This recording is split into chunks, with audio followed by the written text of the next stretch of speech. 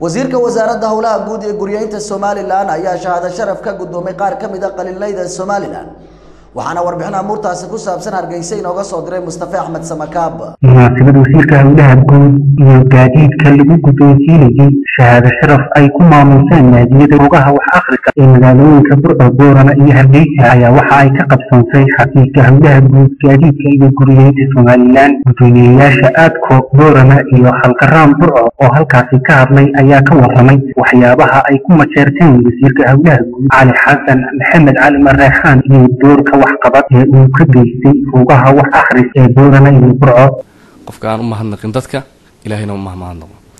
Waxaan mahadnaq ka sidaa.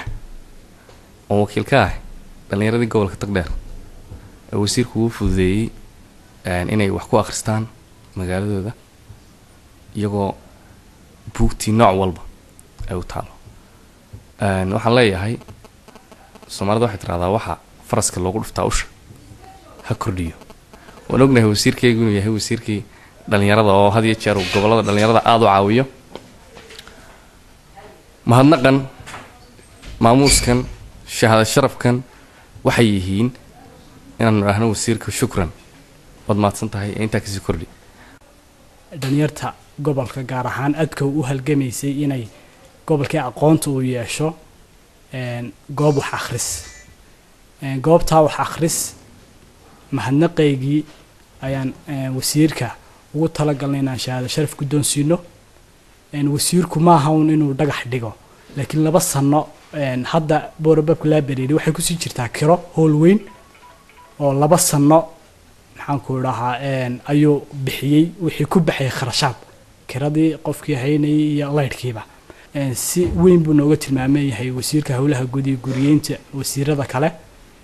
Qof walba intuu galay iyo wuxuu gudaba waa la sheegaa.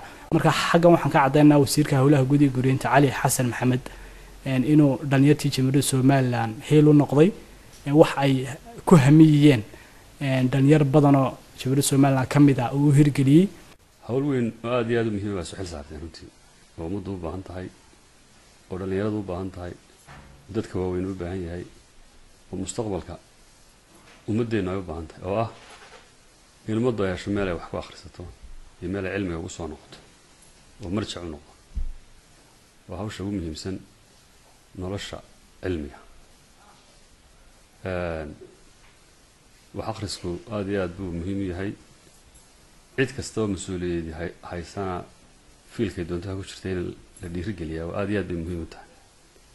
Waayo mar kastoo aad wax akhrido waxaad ogaanaysaa waxaanad cilmi waa mustafe axmed samakaar african cable t v magaalada hargeysa